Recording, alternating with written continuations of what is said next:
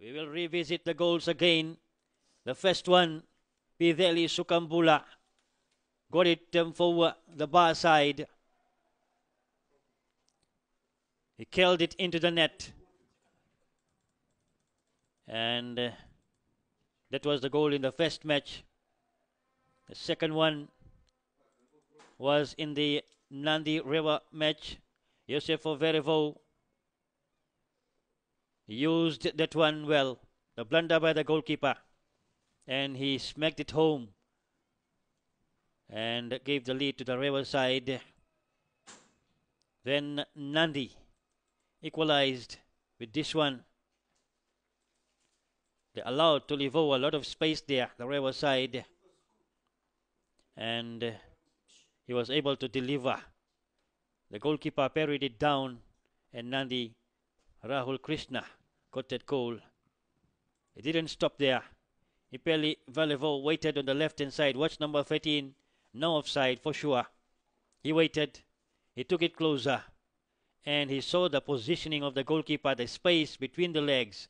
And that is exactly where he put it in, giving that uh, second goal to the Rewa side.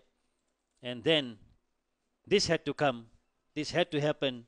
The equalizer from the youngster from Udiwai in Nadi, Enrico Matau. What a shot! Into the net it went, and two all was the score line.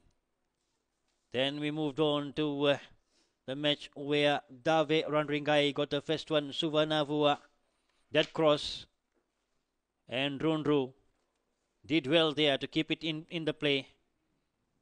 Then that delivery, good vision from him, and the confidence from Dave Radrigai got Suva the goal there. And then the last match, uh, not really the last match, the last goal in the second last match was from this man, Rakula striding and approaching the goal. And it went right into the net. The second goal for the Suva side sealed the match for them, the three points. Then it was the last one, Lautoka versus Labasa. And Sola Wanga started with this one here. A delivery made to him by Zavo Ilangi, and he placed it into the net and gave them the first goal. And then we moved on to the second one. Serusi Nalaubu made the daring run. Two defenders chasing, but Nalaubu was the fastest of all and even beat the goalkeeper and got that goal and the lead. And then Christopher Wasasala came back into the uh, field. He was sent into the second half. He earned the penalty and he scored from the penalty to bring Labasa into the match with a lot of hopes.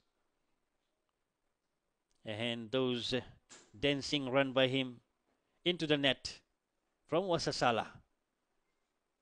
As Labasa from there tried to do everything possible, but uh, this corner kick was the seal for the deal on match day one.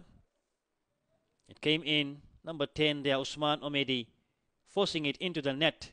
And that's how and that's how we have seen the goals scored here tonight 11 goals scored in uh, the four matches remember we will be back tomorrow at uh, 1 p.m when Nadi and Navua return to the field at 3 p.m. Lautoka Ba at uh, 5 p.m. Labasa Tailevu Naitasiri and at 7 p.m. Suva versus Rewa.